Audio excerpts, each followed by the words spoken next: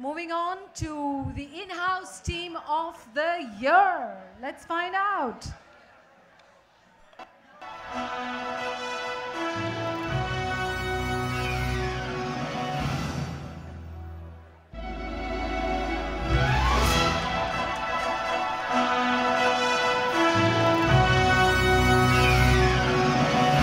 It's Godrej Corporate Communications team, and we're